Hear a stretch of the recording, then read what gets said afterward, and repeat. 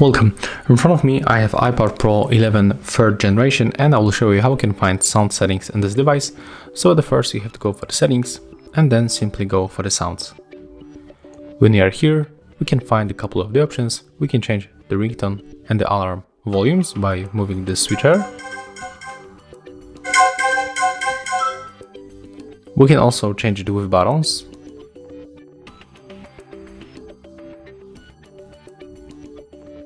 Next, uh, we can change the ringtone um, volume, I mean the ringtone sound.